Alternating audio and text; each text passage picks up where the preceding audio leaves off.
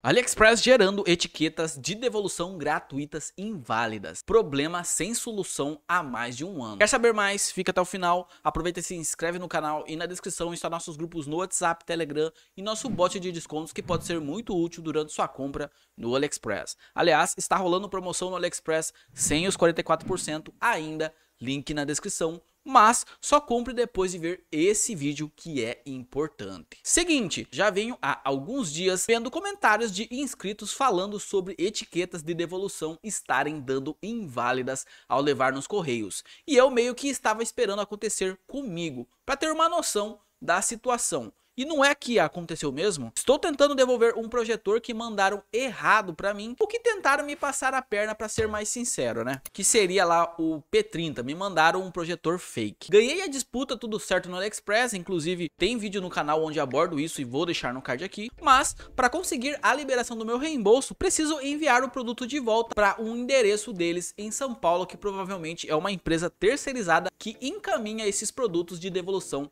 para a China de volta. Só que é o seguinte, estou há alguns dias tentando enviar esse projetor com a etiqueta de devolução que me mandaram. Só que ao chegar nos correios, a atendente me diz que o código é inválido. Voltei para casa, reclamei com o AliExpress, me pediram para cancelar a devolução e pediram para eu abrir de novo essa reclamação. Em seguida, gerou uma nova etiqueta e a mesma também não funcionou. Inclusive, essa é uma das etiquetas, eu só tampei aqui a parte de baixo porque está o meu endereço. Então fui pesquisar mais a fundo e vi que tem vídeos aqui no YouTube de gente que está passando pelo mesmo problema há mais de um ano que até desistiram de resolver e aceitaram ficar com o produto, devido a não conseguir solucionar isso. Tinha até um tutorial que achei aqui no YouTube que falava que precisava mandar um e-mail para essa empresa aqui, que é a BR1 Service, que é a empresa que gera essas etiquetas de devolução. E a mesma diz que faz mais de um ano também que não presta mais serviços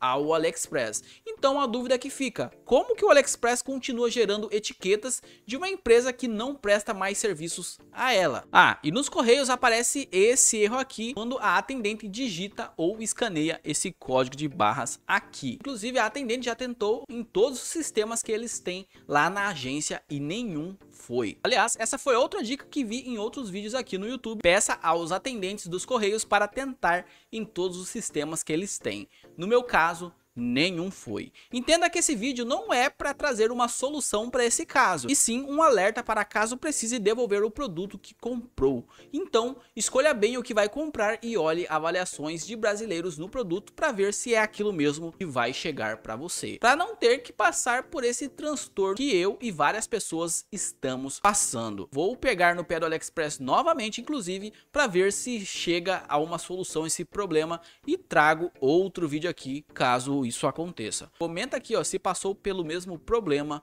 ou não. Não esquece do like e agora vai aparecer dois vídeos aqui na tela. Clica um deles que eu te espero lá. Até mais.